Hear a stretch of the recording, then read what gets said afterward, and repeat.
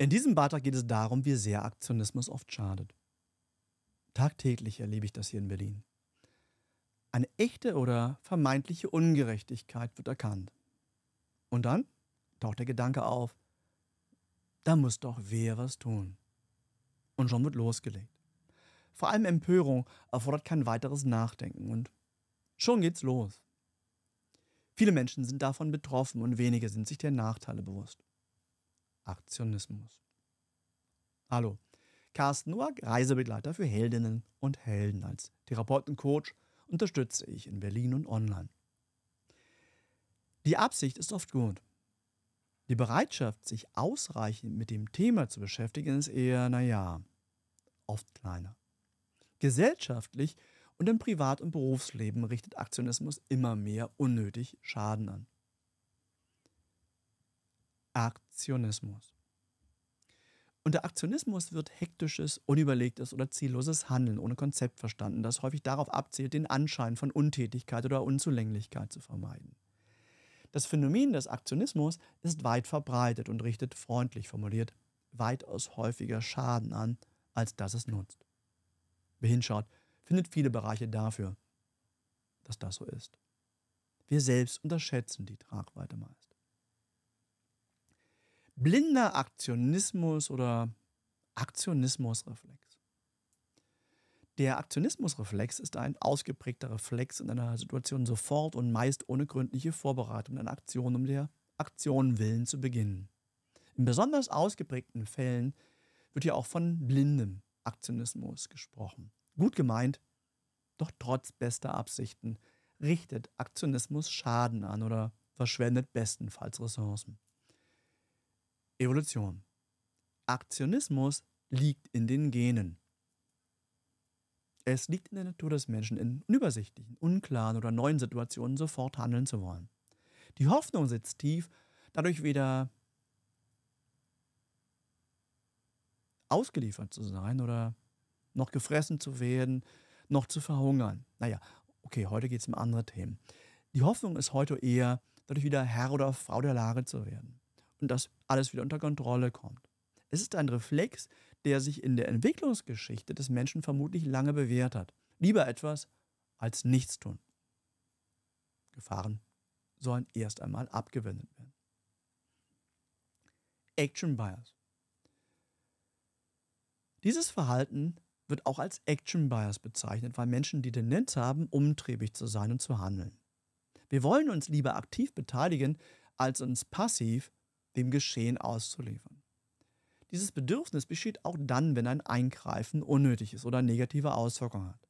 Das Stammhirn, aus gutem Grund auch Reptiliengehirn genannt, sieht heute in der Fantasie gefährliche Säbelzahntiger, wo keine sind.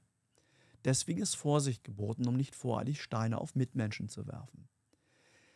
Das mag in früheren Epochen der Menschheitsentwicklung überlebenswichtig gewesen sein, doch die Zeiten haben sich durchaus geändert.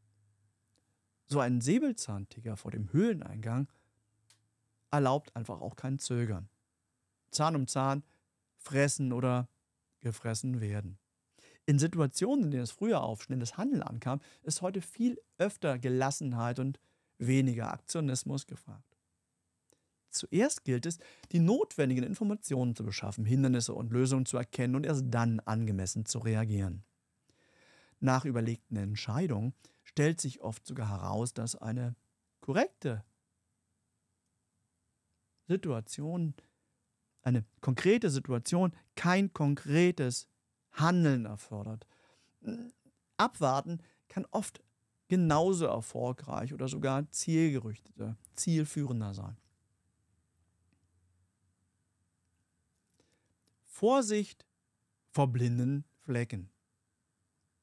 Blinde Flecken fördern Aktionismus. Wer sich selbst gut kennt und reflektiert, neigt weniger zu Aktionismus und Fehlentscheidung. Es gibt diese Illusion von Geschwindigkeit. Als Unternehmensberater und als Selbstständiger und sicher auch als Privatperson kenne ich Aktionismus selbst aus zahlreichen Perspektiven. Wo Wettbewerb herrscht, überholen die Großen die Kleinen und die Schnellen die Langsamen.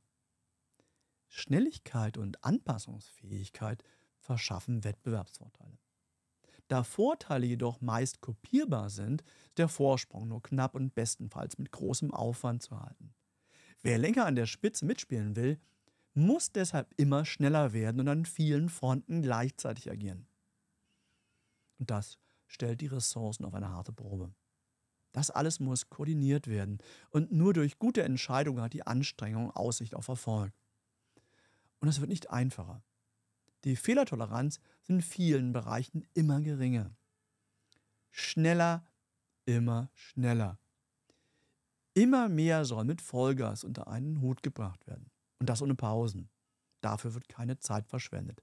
Doch bei zu hohem Tempo kann schnell etwas übersehen werden, was sich später als relevanter herausstellt als gedacht.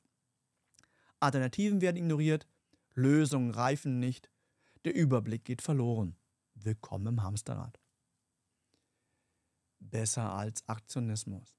Nachdenken und einen Plan machen statt hektischer Aktivität. Unproduktiv, dafür zumindest beschäftigt. Es gibt keinen relevanten Vorsprung durch Hektik. Besser, viel besser als Aktionismus ist es, Alternativen durchzuspielen, Szenarien zu erforschen und aus einer Vielzahl von Handlungsoptionen die Konsequenzen zu ziehen.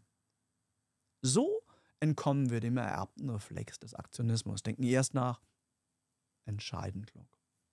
Bitte, wie stehst du zu Aktionismus? Was siehst du anders? Was gibt es zu ergänzen? Erfahrungen, Tipps und andere respektvolle Kommentare sind willkommen. Tauschen wir uns aus. Carsten Nurk, gehen wir den Weg ein Stück gemeinsam, passen wir gut auf uns und jene auf, die uns am Herzen liegen.